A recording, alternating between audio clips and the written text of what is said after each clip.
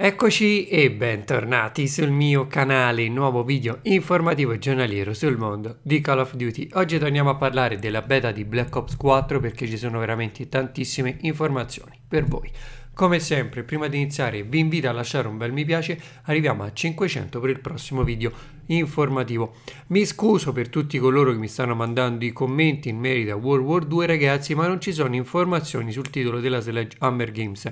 L'unica cosa che vi posso dire è che un'indiscrezione parla del 28 di agosto come data di rilascio del DLC 4 di World War 2, l'ultimo DLC del titolo della Sledgehammer Games, quindi la prossima settimana ci potremo aspettare il reveal trailer del DLC 4 del titolo. Mi dispiace ragazzi, ma non ci sono informazioni da riportare importanti, quindi volete o non volete, bisogna per forza parlare dei Call of Duty di cui Activision e Treyarch rilasciano informazioni.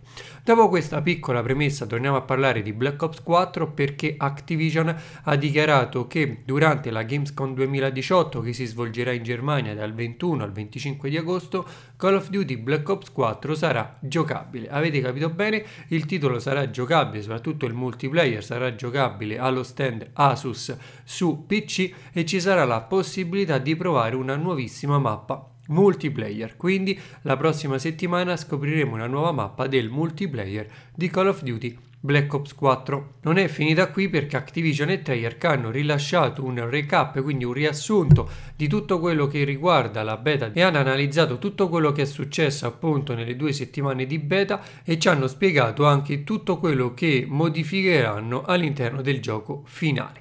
Partiamo innanzitutto con le modifiche, hanno dichiarato infatti che ci saranno modifiche alla minimappa, infatti stanno aggiungendo un indicatore aggiuntivo che ci consentirà di sapere quando saremo visibili ai giocatori nemici nella minimappa in, in modo da poter reagire di conseguenza. I punti rossi della minimappa che appaiono quando spareremo con la nostra arma svaniranno più velocemente, quindi ci sarà più tempo per evadere dopo che avremo ingaggiato uno scontro a fuoco ed inoltre questi stessi punti rossi non rileveranno più i compagni di squadra che sono vicini al giocatore che spara con la pistola.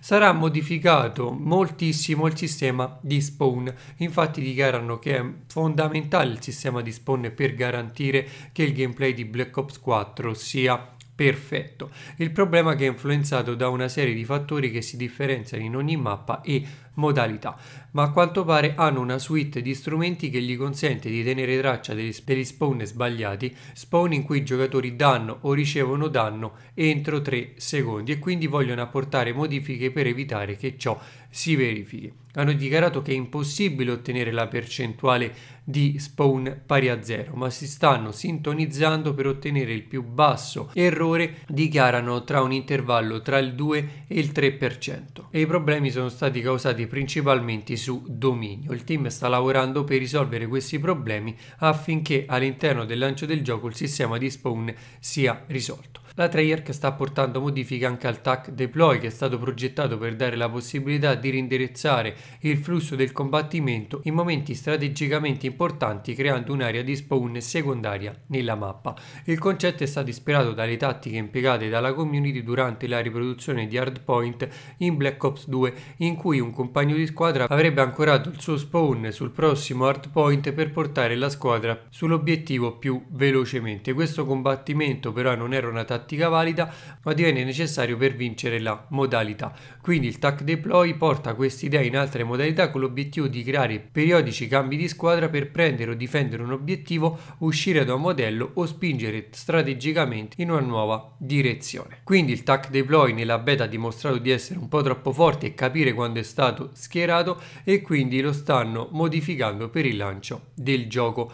Altra cosa molto importante, hanno parlato appunto del nuovo sistema di perk Body Armor e Gear. Praticamente hanno dichiarato che se giochiamo in maniera aggressiva e quindi ci piacciono gli scontri a fuoco dobbiamo utilizzare la fiala, quindi lo Steam Shot. Se un giocatore preferisce avere più ricompensa ovviamente il dispositivo Comsec, se invece il giocatore gli piace giocare vicino appunto agli obiettivi deve utilizzare l'armatura. Il bilanciamento per questa categoria purtroppo non è stato definito in tempo per la beta e lo miglioreranno per il lancio. La fiala, lo Steam Shot è stato praticamente il perk più popolare a quanto pare, il body armor invece è stato quello più controverso. Adesso gli esplosivi dovrebbero distruggere la, l'armatura e questo non funzionava nella beta. Il danno ora è stato ridotto dell'armatura piuttosto che essere completamente deviato da esso e adesso otterremo un bonus extra di 25 punti bonus per ogni uccisione contro i giocatori che utilizzano appunto l'armeria in modo di alimentare il nostro misuratore delle score streak.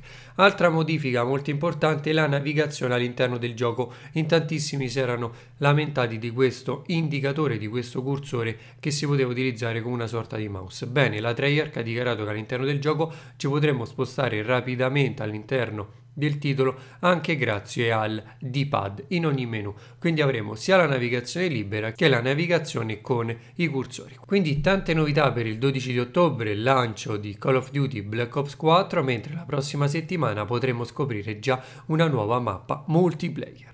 Qui sotto nei commenti fatemi sapere che cosa ne pensate. Arriviamo a 500 mi piace per il prossimo video informativo e noi ci vediamo con tanti nuovi video